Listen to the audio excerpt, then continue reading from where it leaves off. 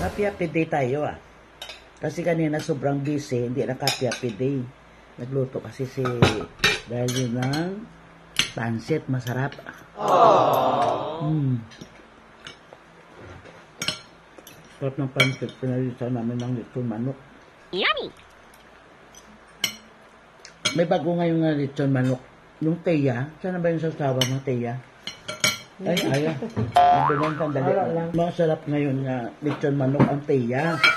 Kaya sinubukan namin. Mm. Ay, oo. Ang sarap. Oo. Yummy! Talaga.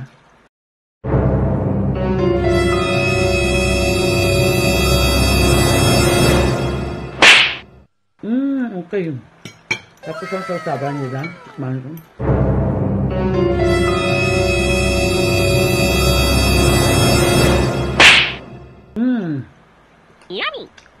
Okay. Thank you, Lord. Nal? Sarap, no? Hmm. Tiyaan dyan. Tiyaan dyan plus pansit.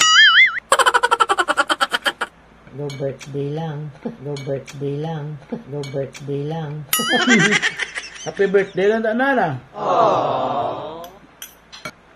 Buti hindi tayo na ano, na-traffic. Kasi dito kami dumaan sa Lasal. Hindi sa Lacson.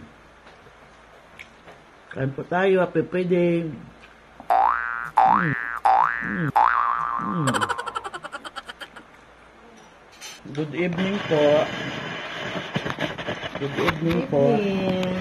Happy today. Kain po tayo ng dinner. Mhm. Kay gutom na.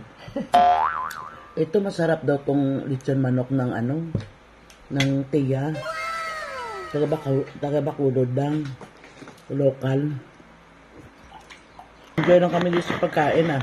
Enjoy din kayo dyan sa panonood sa amin.